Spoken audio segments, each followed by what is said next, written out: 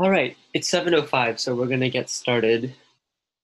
Once again, thanks everyone for coming. Welcome back. Um, I actually suspect that some people that were originally in the Friday sessions moved to the Saturday sessions because we've actually gotten about the same amount of people there, but we've lost a lot of people on the Friday meetings. Um, but anyway, before we start, some quick updates. Um, if you did the homework that I assigned last time, that was optional. Please email that to um, the email right here. Second of all, so I mentioned that we had a newsletter last time. I realized that I think I forgot to give the link. Um, and so here's the link. You guys can feel free to check it out to see what we're doing. Right now we have one edition out and the second edition is going to be published probably this weekend. It was supposed to be published last week, but I was kind of busy, so I didn't do that. Um, if you're interested in looking at it, I'll send the link in the chat in a bit. So today we're actually going to be structuring our meeting a bit different. Let me change my screen. One sec.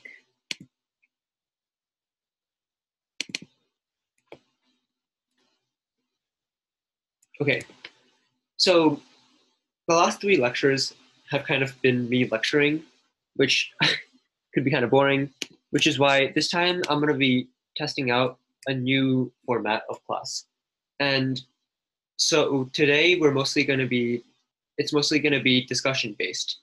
Um, I found five high school ethics bowl cases that I thought would be suitable for discussion because of how they relate to what we've learned um, in the second and third classes.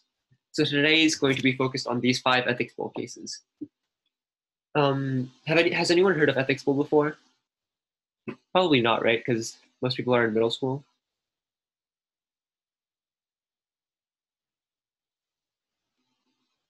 Okay, well, anyway, high school ethics bowl competition is kind of just, it's kind of like science bowl or math bowl, except it's for philosophy, it's for ethics. So some of these cases are a bit longer than what we're used to. That's because it's for high schoolers usually. Um, but I try to pick the most simple and the most direct ones. So here's the first one that we're going to do, working while sick. Can everyone see it on the screen?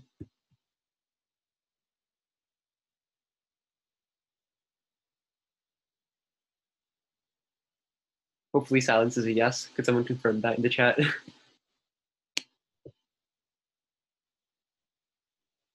okay, great, thank you. It's kind of long, so I'm not going to read it. Um, so please read it yourselves.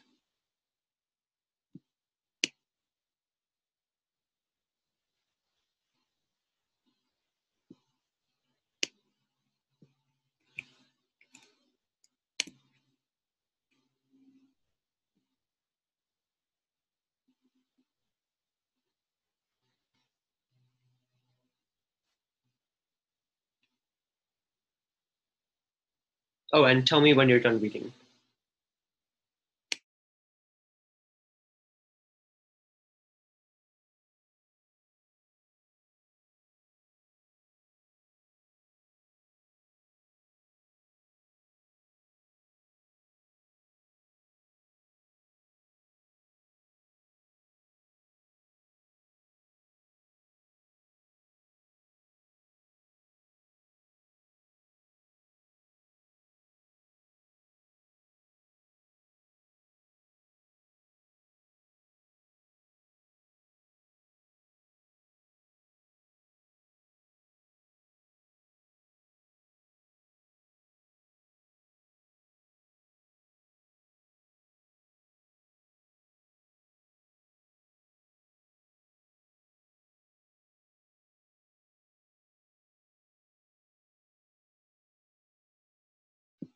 The two people that just joined, right now we're we're just reading this ethics bowl case.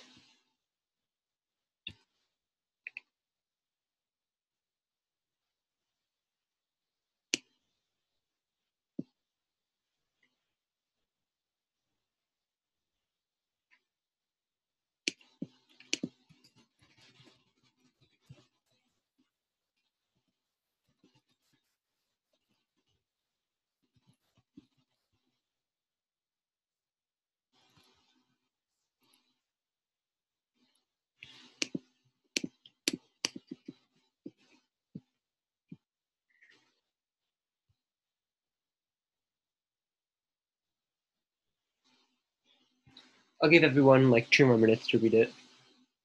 Or maybe one more minute.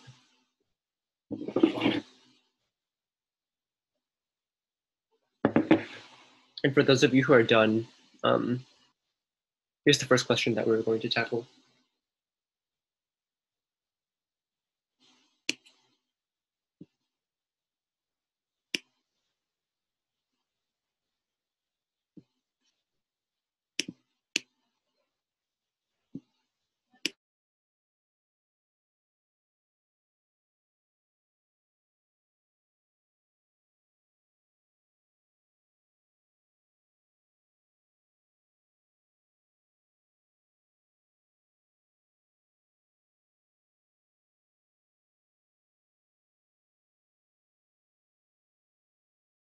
Okay. Besides the people who joined, um, is anyone else not done reading?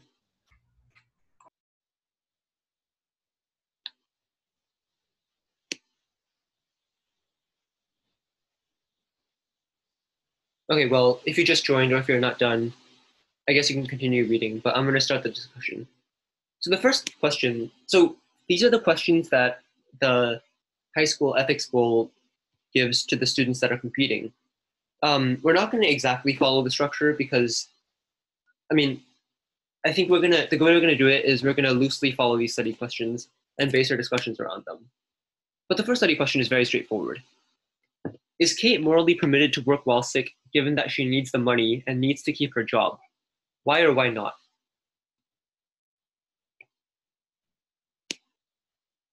And just like always, feel free to unmute if you want to talk.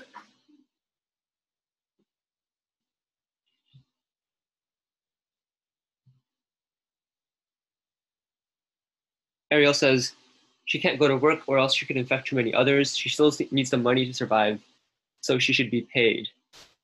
Um, okay, that's the optimal solution, I guess. But as it says here, most private sector workers don't have paid leave, so let's assume that she will not be paid um, if she doesn't go. What could she do besides, like, I guess, ask for reform? I think she can just go to work with a face mask. Well, the, the risk would still be there. Oh yeah, that right. would decrease risk, but there's still a small risk. Hmm.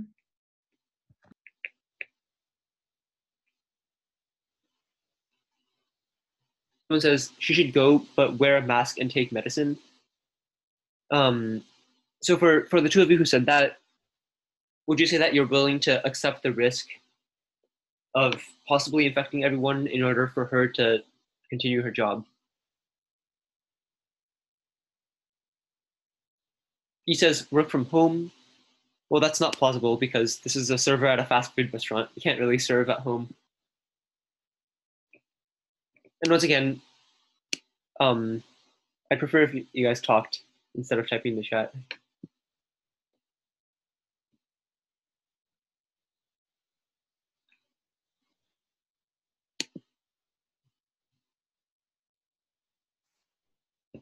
So Isabel says no because her work is directly with customers and she's contagious. However, it says her employer encouraged taking sick days. Um, she likely wouldn't won't be fired. It's true that she wouldn't be fired, but there's still a huge financial strain put on her and her family. And I saw Maris's question about how it's similar to the trolley problem.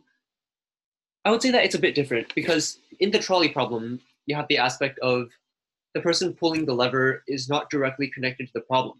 So, so a lot of the question is asking yourself, what's the difference between direct and indirect murder? On the other hand, in this case, it's pretty clear to see that if she went to work, it would have a net damage into, on the world and on the people she works with. However, the question is, what is she morally able to do? Even if is she able to do something damaging to others in order to help herself, because that's a reasonable thing to do. Otherwise, she would starve. So uh, it's kind of different from the trolley problem, I think.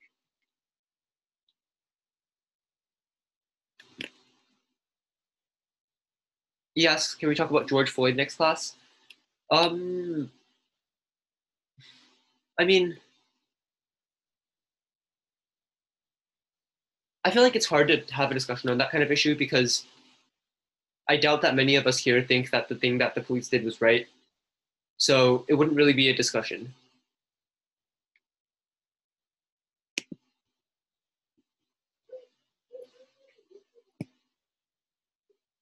So it seems like most people think that um, that Kate should continue to work. Who disagrees with that? I mean, who thinks that Kate has an obligation to put others before herself?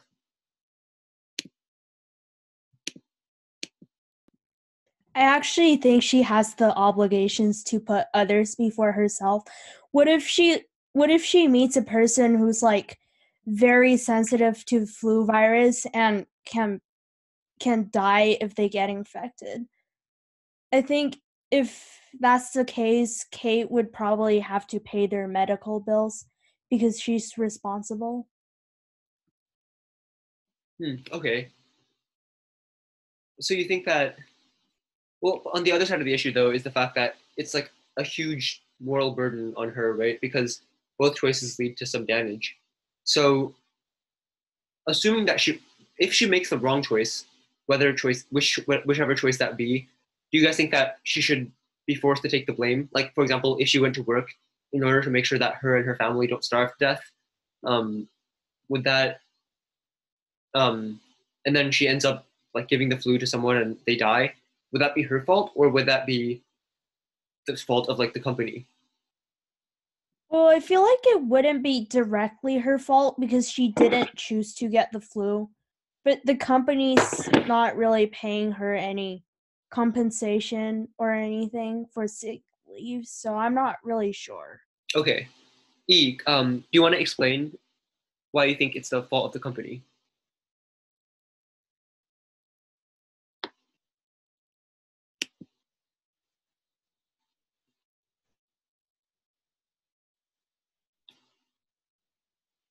What is PPP?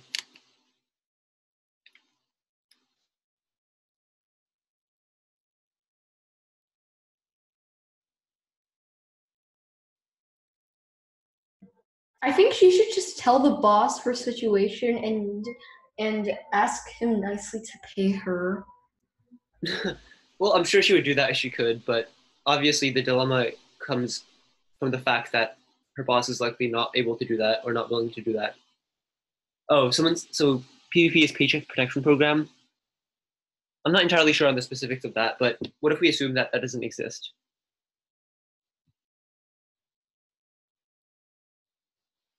Okay, the person with the the name is a string of emojis. I'm not exactly sure what that is. They said that the company gives her a choice.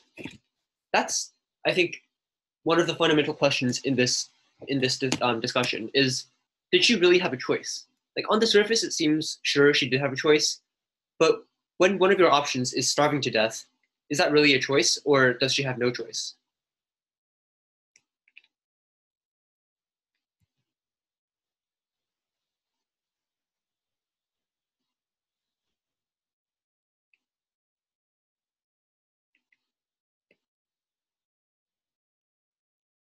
I feel like morally the company should have some responsibilities about their employees. Like a lot of larger companies can't afford insurances for their employees, but I'm not really sure about this company. Okay, I see. Seems like yeah, this case is like the boss might not be very willing to pay her sick leaves. Yeah, I think one of the reasons I chose this case was because um, it's another situation in which someone a bad situation is put on someone and both choices are bad. So the question is is it still possible to act morally here? This is kind of similar to the question i posed i think last last class. I don't think it's possible to act morally like either way. Okay I think it's the company's fault since they didn't pay Kate when she got sick and they didn't care about one of her one of the employees' families dying. So actually the boss is putting himself first before his employees. Mm, okay, that makes sense. Let's I kind of this, agree or, with that, but like not really. What's your um what's your rebuttal? So like on one one side I'm debating like whether whether it's Kate's fault for not working. Like there's another theory that kind of thinks only working people deserve money and when they don't work they don't deserve that money but but like on the other hand it's not her choice to get sick and not go to work i'm not sure Okay, that, that's a fair point of view. Let's move on to the second question. Um, for those of you who said that Kate should avoid going to work to prevent her from getting sick, would your decision change if it was revealed that Kate is actually a single mother whose children depend on her making money? Meaning that if she were to not, not go to work, then she wouldn't get her employees sick, but that could cause her to lose her job and cause her children to possibly starve or be in a really bad situation.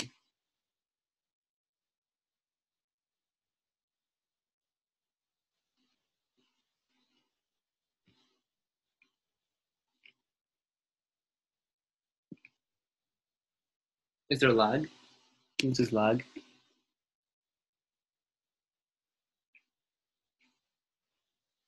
She could find another job.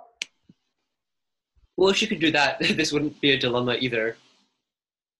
I'm mostly just directing this question to the people who thought that she should stay at home. Like, does the added children change your decision?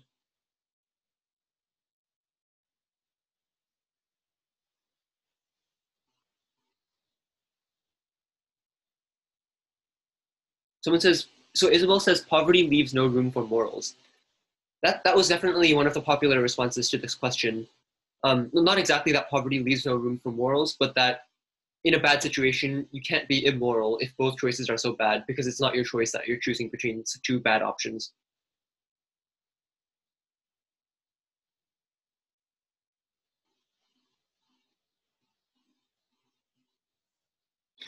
Why is everyone anonymous and then something?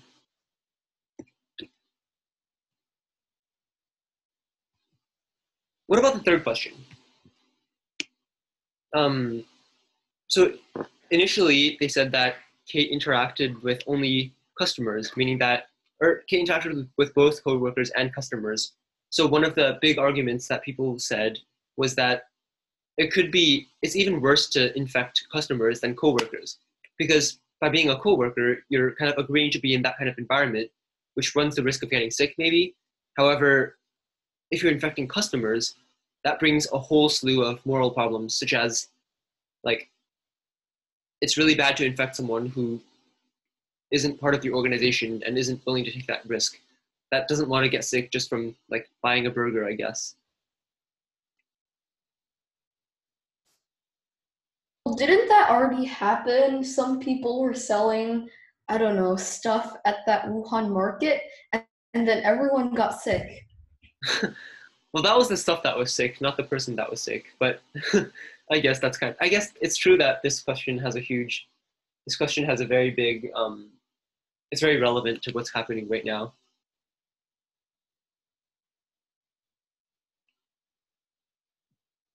Well, if she only interacted with coworkers, that would that that that would very much likely get them sick too. And if these coworkers aren't aware of their sickness and interact with customers, they would probably get the same results. Okay, well, what if this wasn't a fast food job, so the coworkers aren't interacting with customers? Do you think it's worse that she's infecting customers rather than coworkers, or is it the same, or other way around?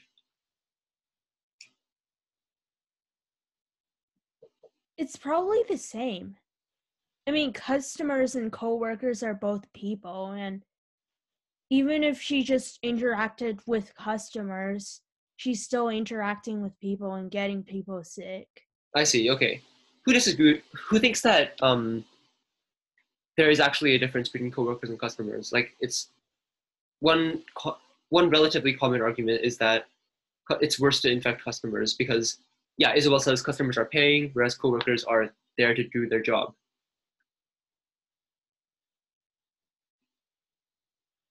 Okay, several people do agree. Does do one of you want to talk in the um, voice channel thing? Oh, you can't. Okay, that's fine.